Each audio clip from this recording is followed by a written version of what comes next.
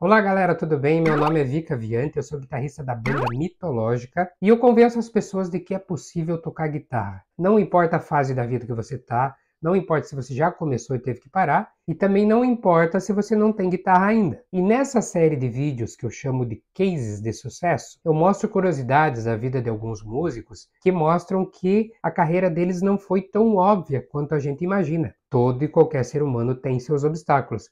Às vezes eles põem a carreira em xeque, mas na maioria das vezes isso vem para agregar alguma coisa, como na vida de qualquer pessoa. Já dizia Candinho. Tudo que acontece de ruim na vida da gente é para melhorar. Acredite. Olha só essa história. Todo mundo conhece o Tony Iommi. Se você não conhece, é o guitarrista do Black Sabbath, o dono do Black Sabbath, o cara que inventou o heavy metal. Quando ele tinha 17 anos, ele trabalhava numa metalúrgica lá em Birmingham, na Inglaterra. Aliás, essa coisa de heavy metal, metalurgia, tem a ver, mas isso é papo para outra hora. Bom, o Tony trabalhava de soldador, ele já tinha decidido que ia viver da música, que ia tocar guitarra. Aí reza a lenda que um certo dia ele decidiu que ia abandonar a fábrica para virar músico e nem ia na parte da tarde, no turno da tarde, e a mãe dele, a dona Silvia, persuadiu ele a ir trabalhar à tarde. E ele chegou lá, um companheiro dele que operava a outra máquina, que ainda não tinha ido. E aí colocaram ele para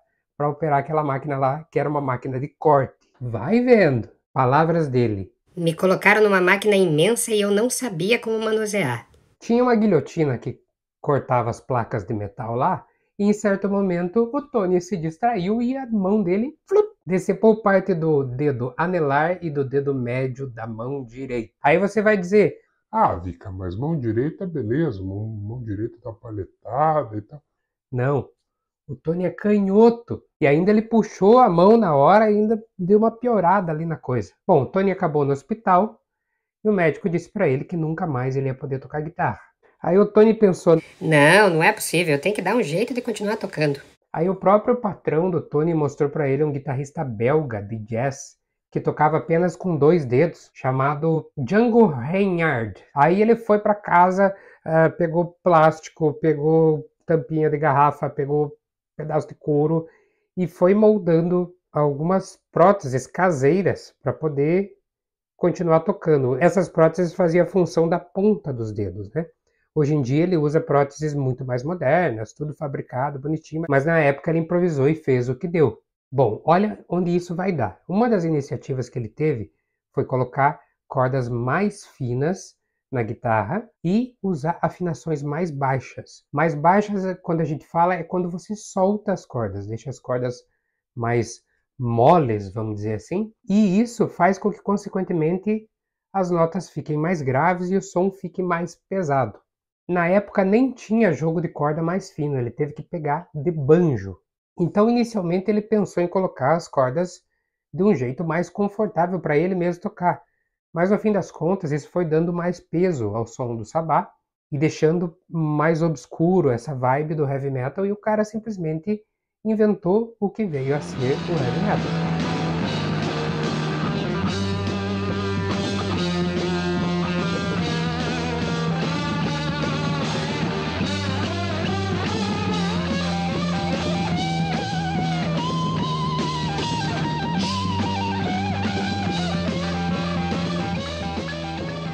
Ou seja, às vezes acontece uma merda tão grande na vida da gente que a gente pensa, pronto, fudeu, né? Acabou, perdi, não dá mais. E às vezes é só o começo de uma nova história que talvez não seria assim se não tivesse dado esse perrengue lá atrás. Bom, já que falamos de um guitarrista sem dedo, que tal um baterista sem braço?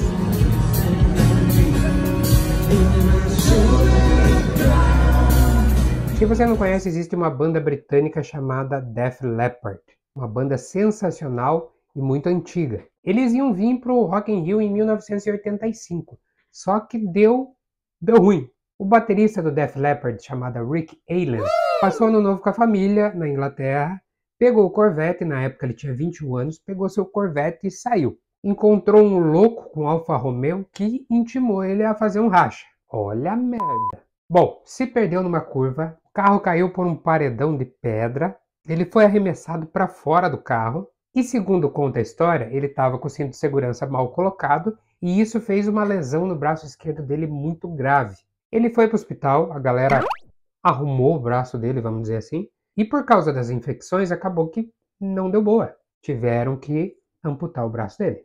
Ele ficou três semanas e meia no hospital e o Def Leppard cancelou todos os compromissos. Aí você vai pensar, putz, ferrou, deu ruim, né? Baterista sem braço. Ele deu um jeito, adaptou a bateria dele para tocar parte das peças com os pés. E em 1988 eles já lançaram um puta álbum chamado Styria. E de lá pra cá já são mais de 10 discos de uma banda com um baterista sem braço. Olha o Candinho de novo aí. Tudo que acontece de ruim na vida da gente é para melhorar. Outra história muito curiosa é de um baita guitarrista chamado Jason Becker. Jason é aquele cara que aos 3 anos ele já tocava violão. Com 16 anos ele teve um projeto com Marty Friedman, ex-guitarrista do Megadeth, chamado Cacophony, um negócio fantástico.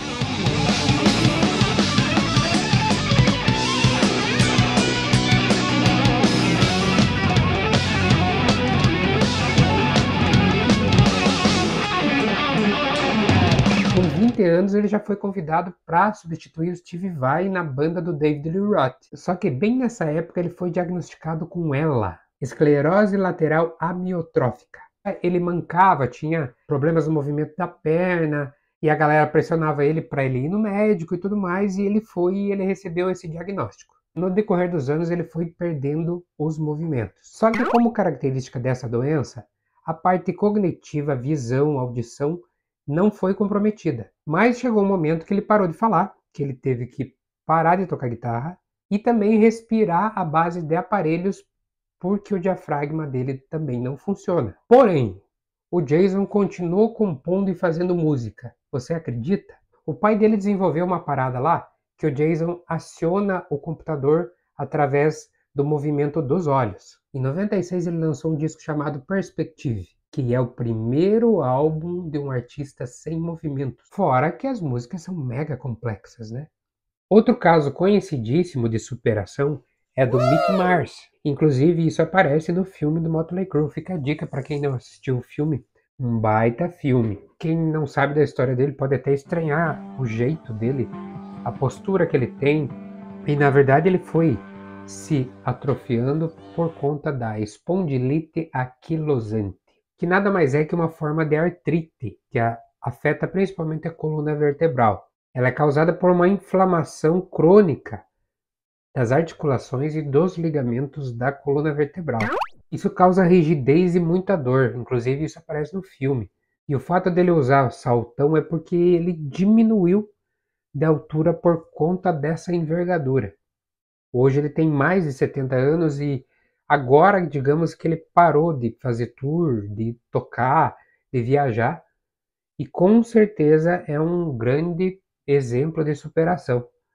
Bom, o último caso, menos expressivo, mas também importante, é o meu caso. Eu fui diagnosticado com síndrome de Chiari tipo 1. A síndrome de Chiari tipo 1 é uma condição neurológica em que o cerebelo, que é a parte do, do cérebro responsável pelo equilíbrio e pela coordenação dos movimentos, se desloca para baixo e comprime o tronco cerebral. Basicamente, essa compressão não deixa escoar os líquidos ali do cérebro para a coluna e tudo mais, e aquilo vai se acumulando. E causa perda de equilíbrio, dor de cabeça, perca dos movimentos da sensibilidade, instabilidade para andar, muita dor de cabeça, tontura e aquela velha depressão. Inclusive, meu lado esquerdo até hoje é um pouco menos sensível do que o lado direito. Eu quase perdi minha voz, o lado esquerdo das minhas cordas vocais ficou paralisado. Para tocar guitarra, a minha mão esquerda é menos sensível às pontas dos dedos e de vez em quando até levemente amortecida. Fui submetido a uma baita cirurgia na cabeça, mas deu tudo certo. A descompressão foi feita, o líquor passou a escoar certinho e tudo foi resolvido, embora algumas sequelas ainda ficaram. Bom, depois disso eu passei a dar mais valor à guitarra ainda, porque eu utilizo, vamos dizer assim, como uma fisioterapia, um estímulo fino para a parte neural, parte sensitiva.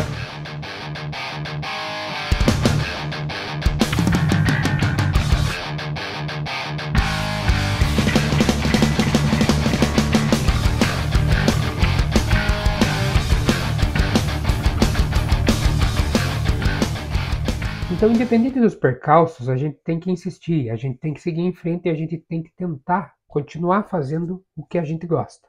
Eventualmente, a gente pode desistir, mas uma hora a gente precisa levantar e continuar, não tem jeito. Bora lá. E é sempre importante lembrar dessas pessoas que inspiram a gente e também lembrar sempre da frase do Candinho. Tudo que acontece de ruim na vida da gente é pra melhorar.